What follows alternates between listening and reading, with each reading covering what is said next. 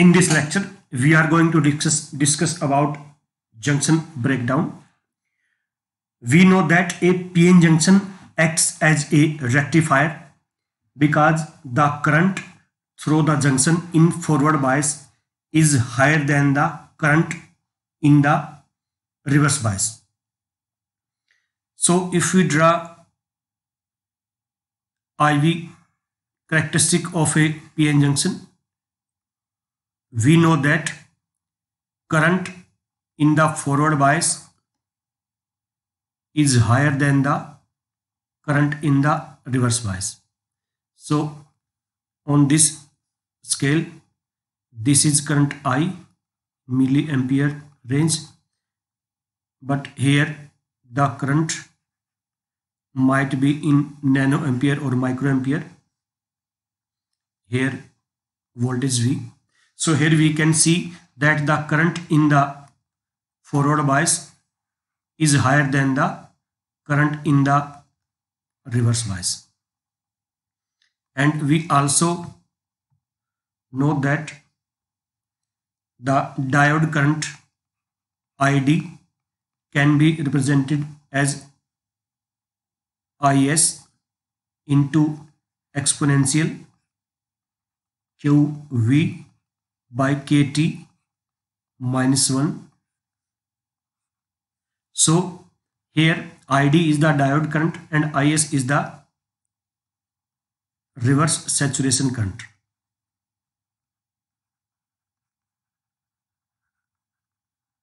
So this is the equation for this current. So now let's concentrate on this reverse current we can see that initially the reverse current is very small.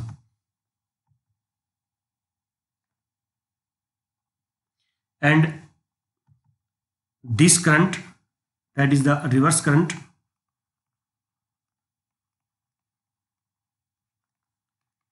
is due to the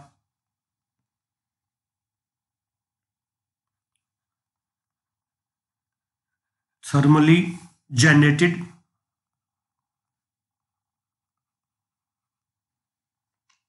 electrons and holes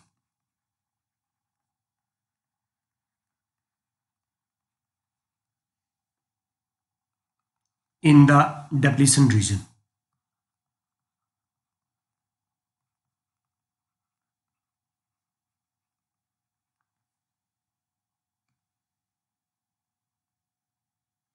We can also call it as a drift current. That is this current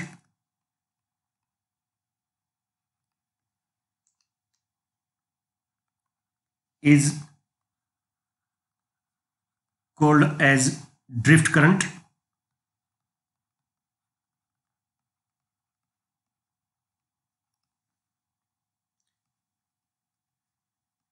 Because this is due to the movement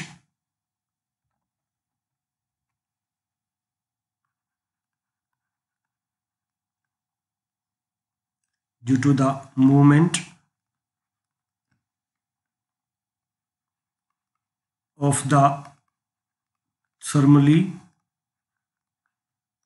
generated carriers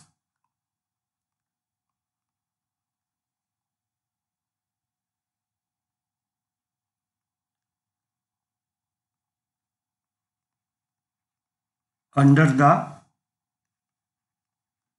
applied electric field.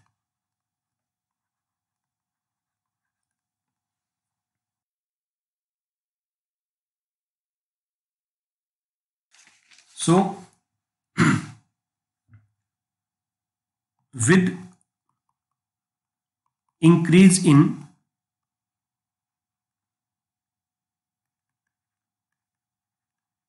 the applied voltage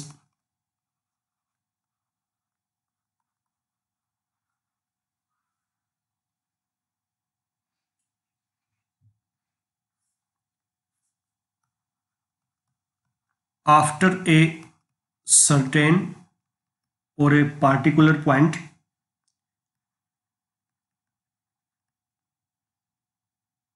the current increases rapidly.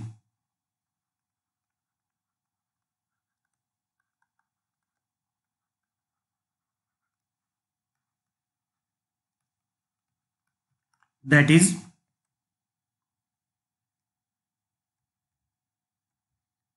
when we increase this applied voltage in reverse direction after a certain point this reverse current start to increase rapidly or after a certain point we get a large amount of reverse current and this point is known as junction breakdown. Junction breakdown. And this particular voltage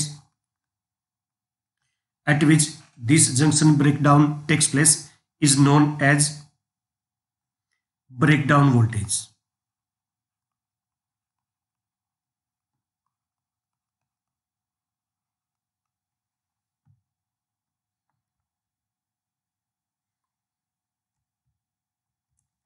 So after a certain point, the current increases rapidly. And this particular point is known as junction breakdown. There are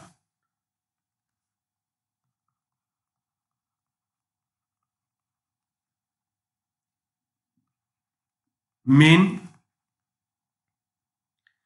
there are true main mechanism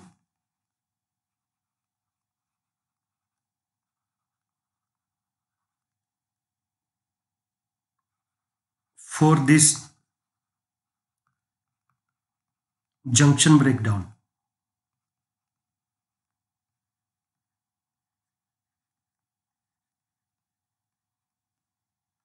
Depending upon the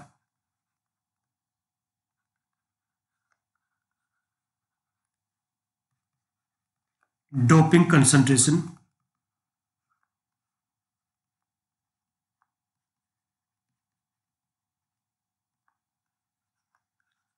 of the PN junction.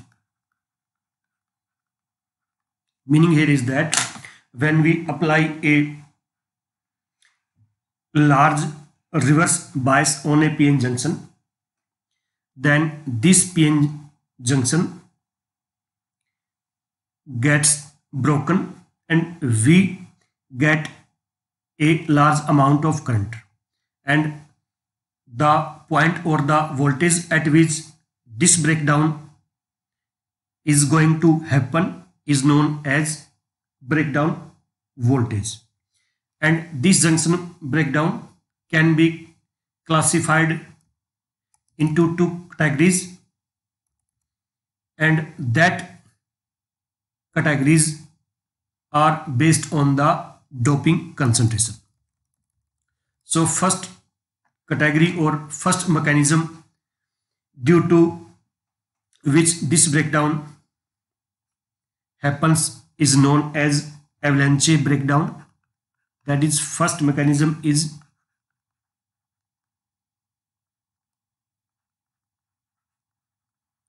avalanche breakdown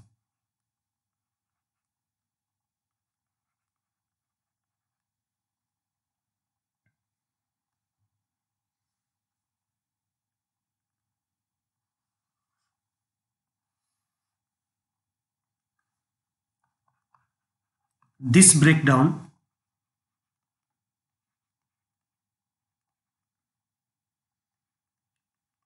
occurs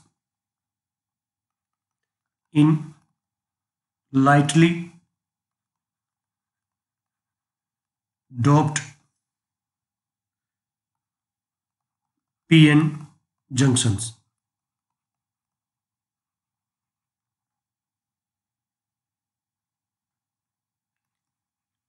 That have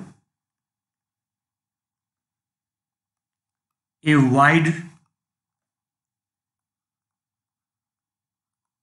depletion region. I'm sure you all know that the depletion width or depletion area depends upon the doping concentration. If doping is higher, then we get a smaller area of depletion and if the doping is lower then we get a higher area of the depletion region. In this breakdown,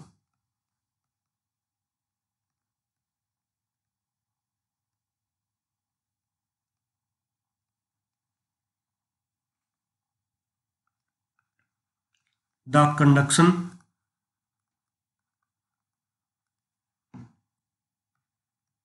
band electrons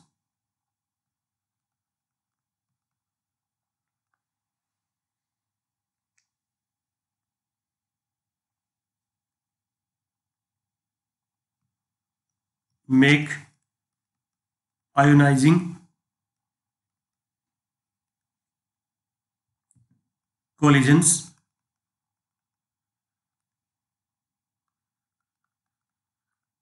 with the atoms of the crystal.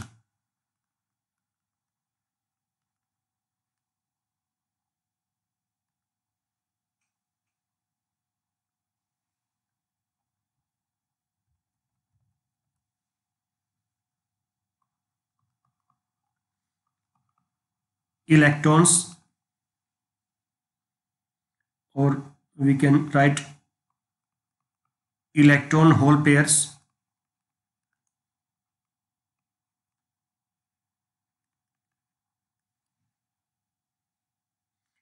That is thermally generated.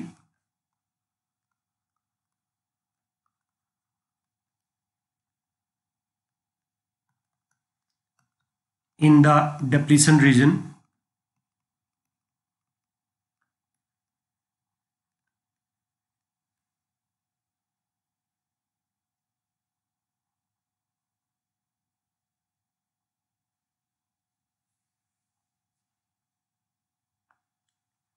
are accelerated.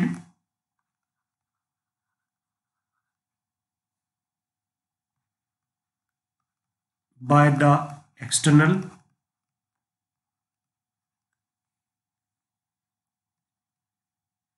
Reverse bias.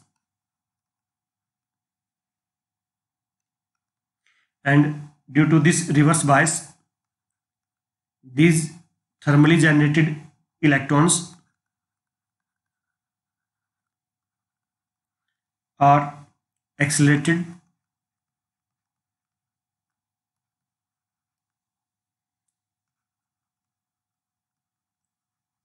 Towards the n side. And holes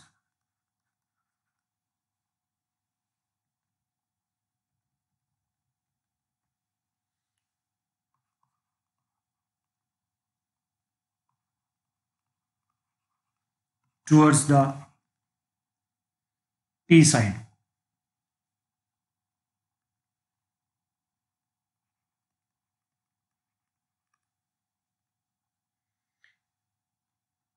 Now these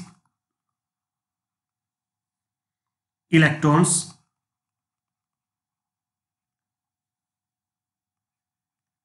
can interact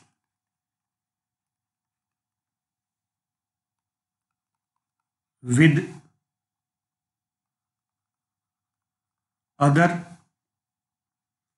atoms atoms let's say we are using a p-n junction based on silicon. So these electrons can interact with other silicon atoms.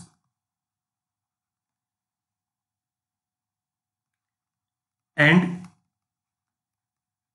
if they have sufficient.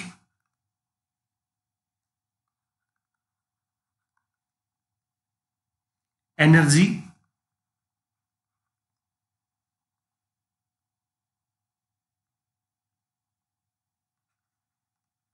They can knock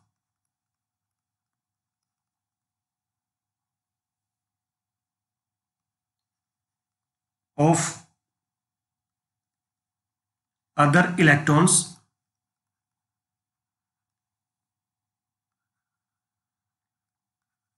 from these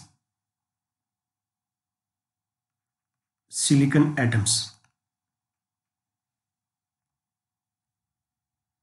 This process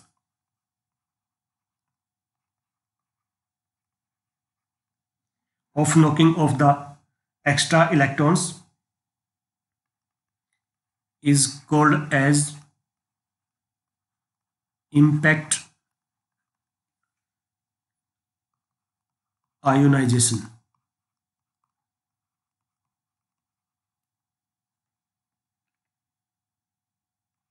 and leads to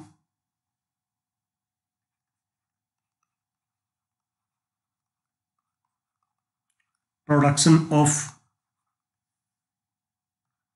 a large number of electrons.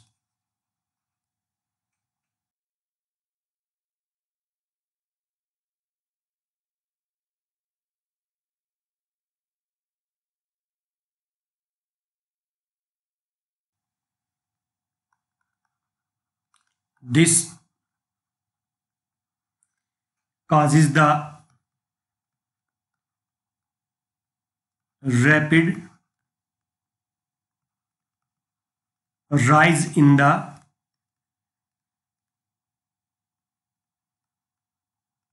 diode current. And it's important to note that the breakdown voltage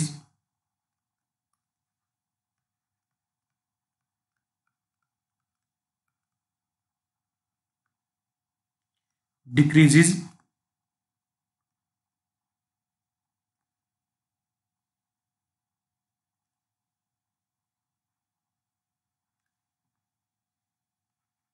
with increase in the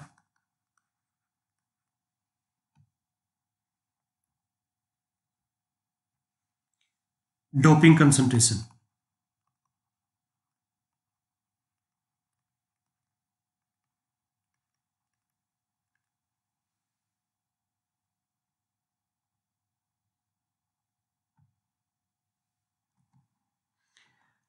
This avalanche breakdown can also be understood by this figure.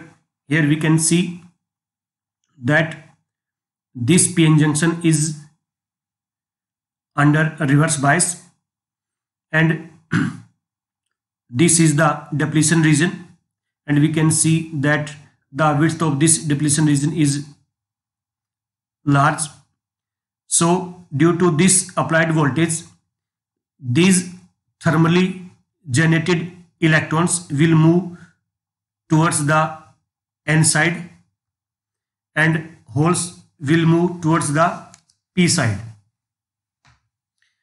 Let's assume that this electron is having energy that is sufficient to knock off another electrons.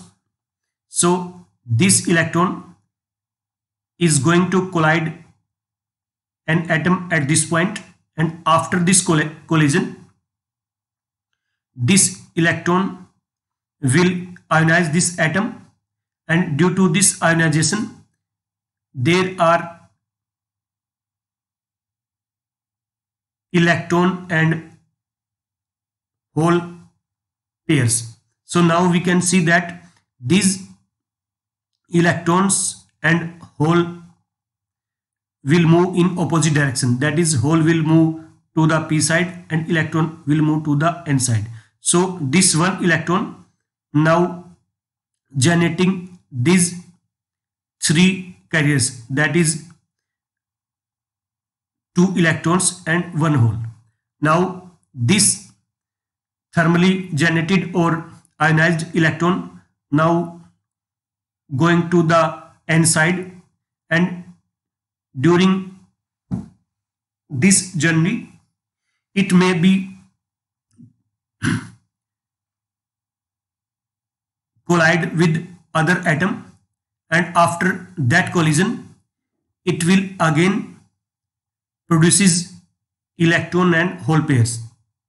So after that collision we can see there is one hole and there are two electrons so in this way we can get a large number of electrons and due to this avalanche process or this impact ionization process, we can get a large amount of current in the reverse bias.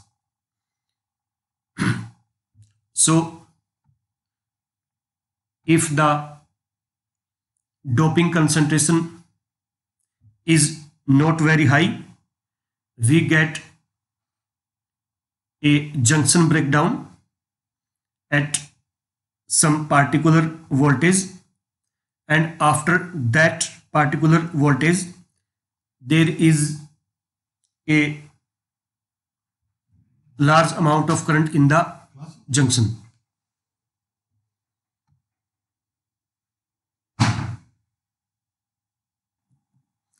Now let's see the other mechanism by which a junction can be broken. So second mechanism is Zener breakdown.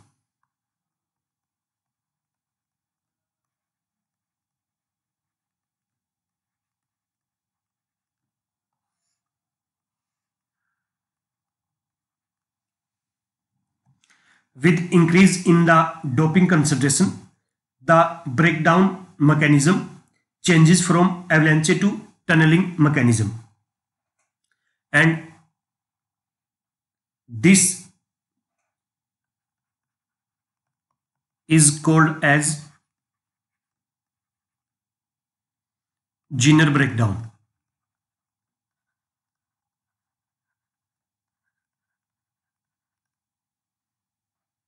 That is when the concentration increases the breakdown mechanism changes from avalanche to tunneling. That is in avalanche breakdown, the current is due to the drifting of the charge carriers. But in Zener breakdown, the current will be due to the tunneling of the charge carriers. And this is because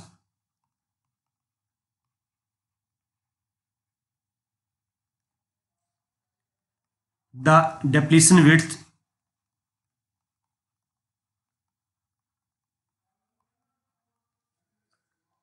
decreases.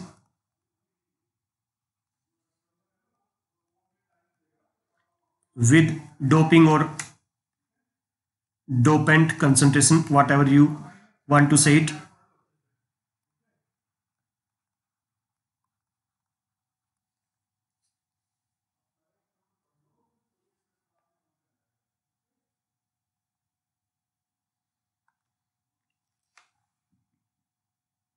And also the reverse bias causes a. Causes an offset.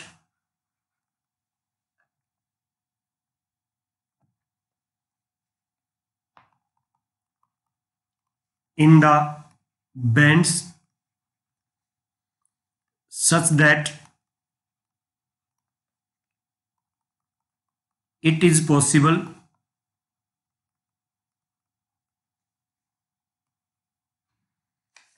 four carriers, two tunnel across the narrow depletion region.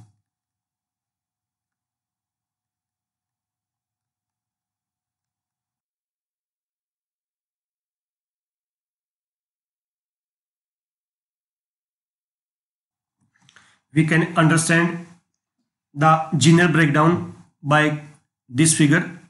Here we can see that since the doping concentration is high, the depletion width is small and due to this small depletion width the electric field is very high at the junction and other thing is that since we are applying a reverse bias and here we can see due to reverse bias the energy band in the p side will move in upward direction.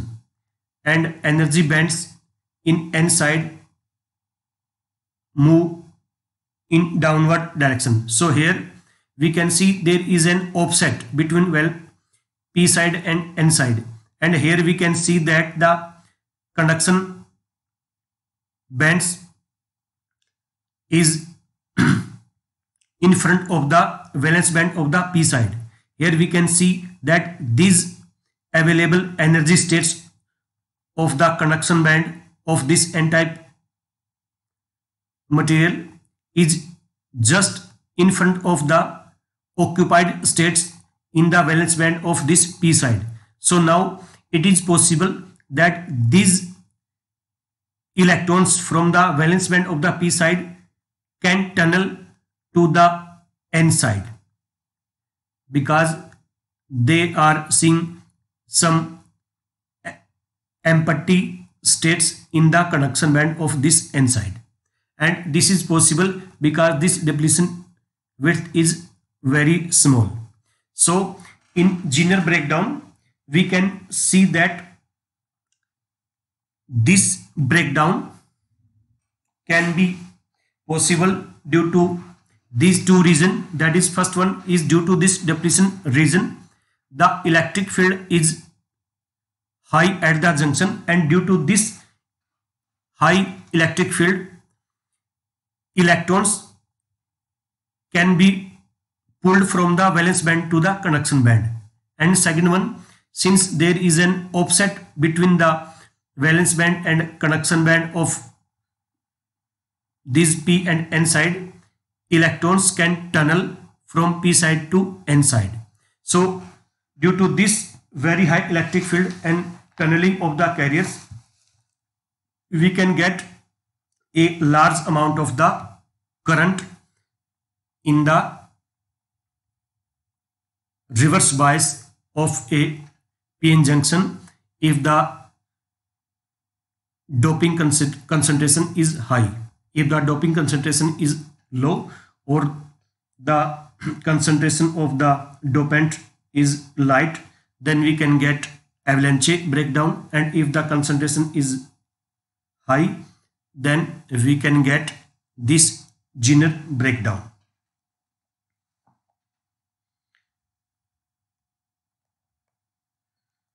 And we know that this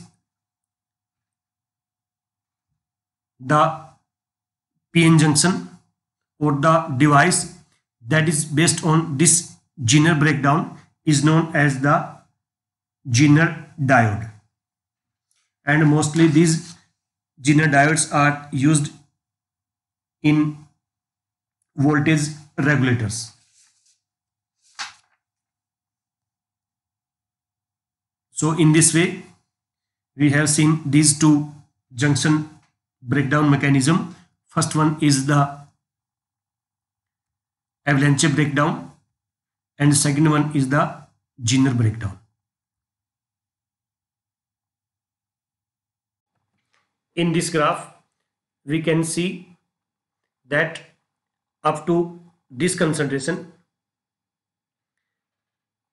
we can get a junction breakdown due to this avalanche process and after this concentration that is the concentration of the dopant we can get tunneling mechanism or Zener mechanism. So after a certain amount of doping concentration, we can get Zener breakdown. And before that concentration, we can get avalanche breakdown.